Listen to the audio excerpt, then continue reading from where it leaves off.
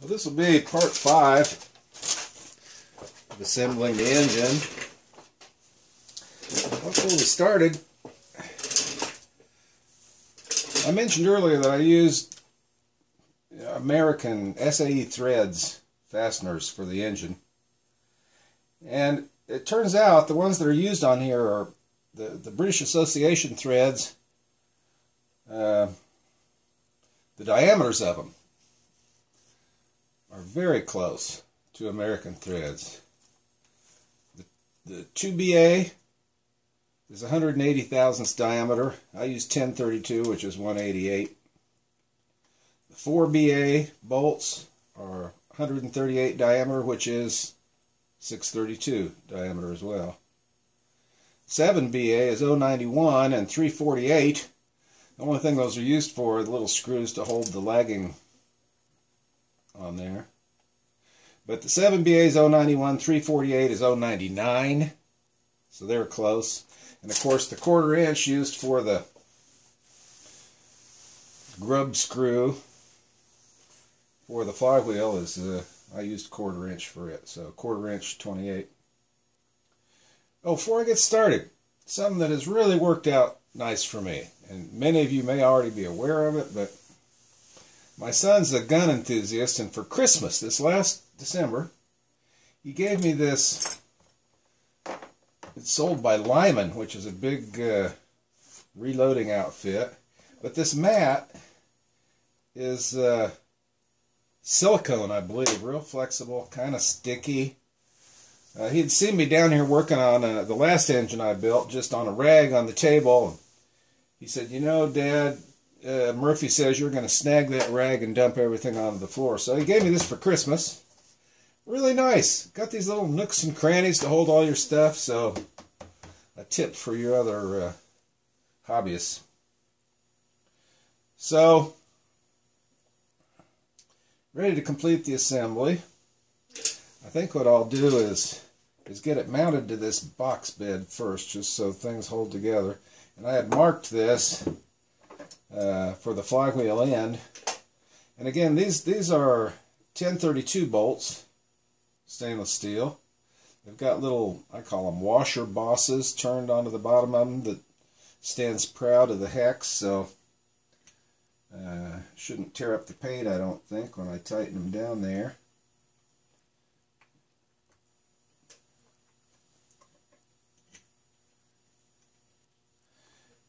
But this will be easier to move everything around now that those splashers are on the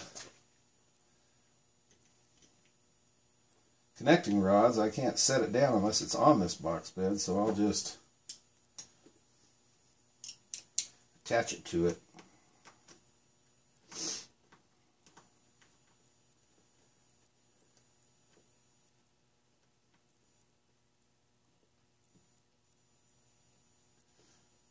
You know, it's been oh, a number of hours since the last uh, segment, which is where I put oil in the top of here. of course, it hasn't run. When it's in motion, uh, the oil will uh, move more easily into the bushing around that pin, but uh, just sitting here on the bench, it's still full of oil and none of it has disappeared. So now I'm going to uh, maybe not before the first time I run it on air, but the the drawing, the specifications on the drawing called for only three gaskets on the engine, under the head and the bearing journals, crankshaft journals. And I have to admit, I, again, I ran it for at least 30 minutes, off and on. Maybe, maybe 45 minutes, a long time. And I, I didn't ever have a leak. Now these are nicely machined surfaces on the top of the box bed and the bottom of the crankcase. But I still assumed that oil would weep out of there. And I did see uh, I could see a little sheen of oil all along this junction between the two, but nothing ever dripped from there. But at any rate, I'm going to put a I'm going to put make a gasket and put under there. Just I can see why. No reason why not to. Doesn't affect any. There's no buildup of tolerance there. It's just an oil sump. So okay. Oh, another tip. And I, you know, I've been some sort of a mechanic or machinist or tinkerer my whole life, and I'm I'm more than 30 years old now. And I went for, well, I've had them now for several years, but I finally went at Sears, saw this pack of open-end ignition wrench set. There's a, God, there's a lot of them in there. 730 seconds, 1564 quarter. There's eight wrenches in there. And they're nice quality wrenches. So anyway, nice if you work on models to have some nice wrenches that, that fit the bolts. So, okay. I think what I'll do is uh, go ahead and install some of the fittings in the block. Now, I'm going to do something completely different with the exhaust. I'll show you why in a minute, but uh, this is the per drawing exhaust pipe. But uh,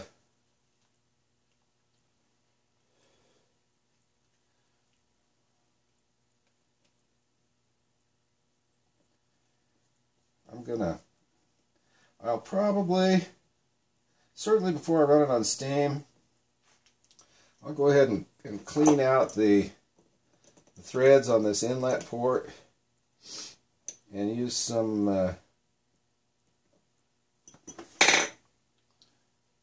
uh, Loctite in these threads. But for now, I'm just getting ready to test it.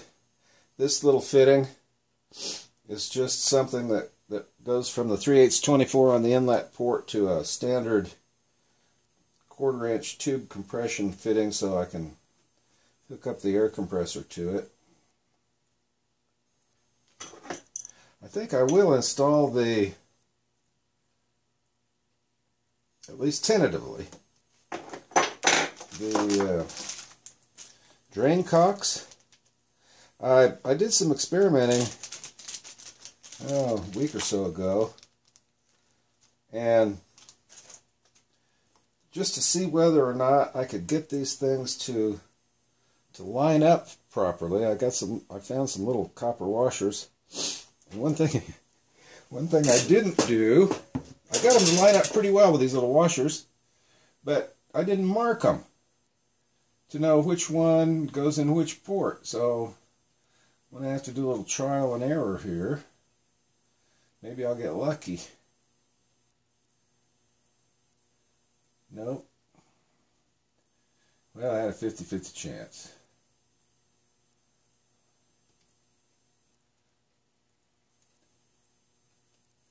I'm going to put a, at least initially, I mean, of course I have a stop valve for the steam on the boiler, but I'm going to mount a stop valve directly to the steam inlet. God, that doesn't look very good either. Oh, there's paint on there now. That may make a difference. Which one of these is closer?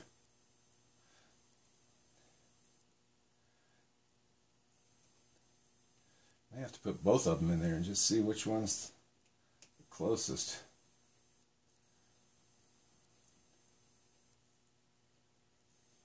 Man. One thing I did do was kept the washers captive with the valve, so I know which ones uh, worked before it was painted.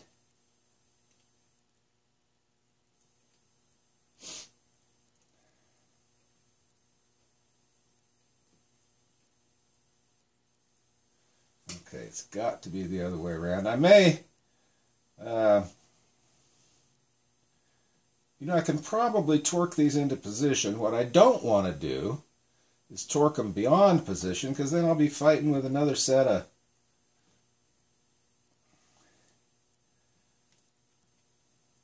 either custom made or anyway washers to help align these. So I may, for now, just get them in there where they'll block off the steam or the air. Yeah, boy, it feels tight too. I'm, I guess I'm to have to, you wouldn't think that three or four coats of paint would build up that much, but and that one can't, I, I don't get it.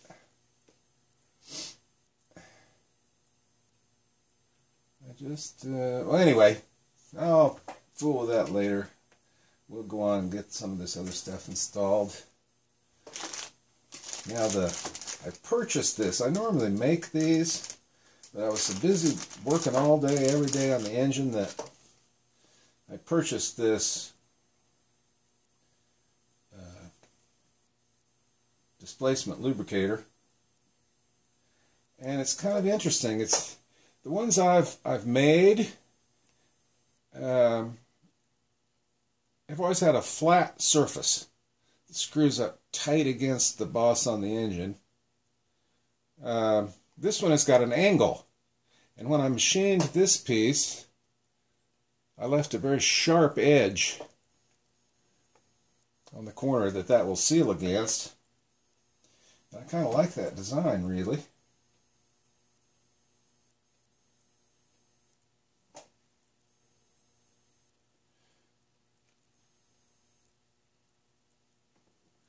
Now, oh, I used the wrong, oh, oh. that was another fitting I had for a special test.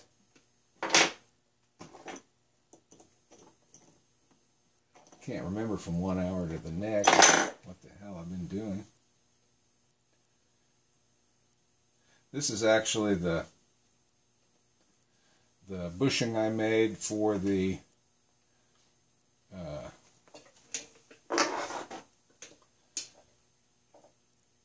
the valve to control the steam. I'll mount it here in this place, but I'll just leave it on there so I remember what the heck it is.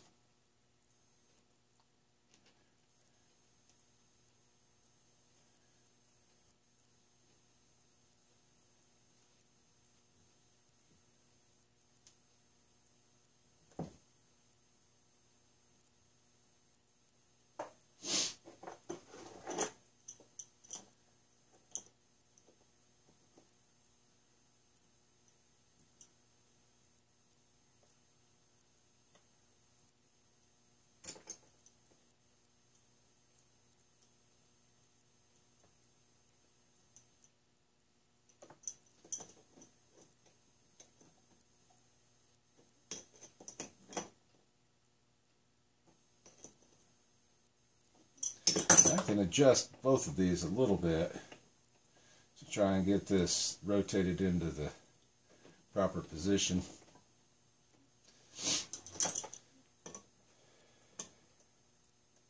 You know, wonder what side 9 16ths maybe, or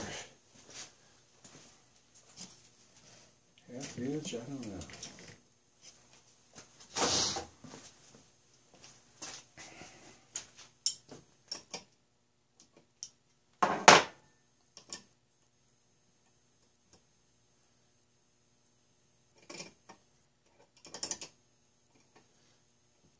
It's actually bigger.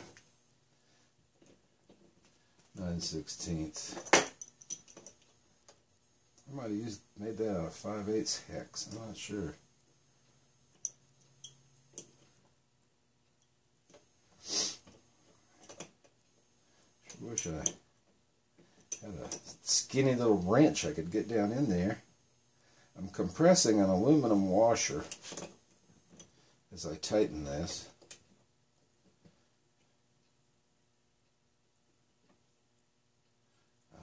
Think that may be just about right. Well, you know what? I'm doing this all out of sequence. I'll, uh, well, that's okay. I can, uh,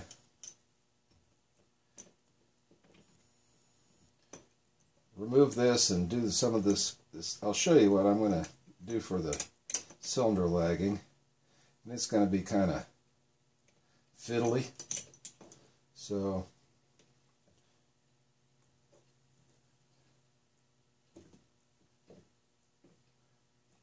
So I don't even need to worry about trying to get that offline, but looks like it's going to be about right. I'll have to work on those stupid drain cocks too. I don't know. I guess the paint made that much difference. But at any rate, under this uh, blued steel stuff, I'm going to put this insulating material. I got this at a, a like a pottery place or a ceramic place where they sell kilns. And they use this stuff to insulate the kilns. It kind of comes apart in layers, and I've tested it. It's a great insulator. Gotta hope this is the right stuff. Yeah, I mean, it's a great insulator. And so I'm going to take sections of that and fill these areas of the the cylinders underneath that. Pack this full of that glass insulation to try and keep those cylinders as hot as I can keep them. Actually, I'd like to keep the whole engine as hot as possible, but I can put in about a quarter inch or more of that insulation more in, in between the cylinders here, enough to where it should help maintain good heat in those cylinders. So I'll leave that till next time. And by then, uh, I will have fiddled around with that, fiddled around with these cocks, and maybe have it ready to test. Till later.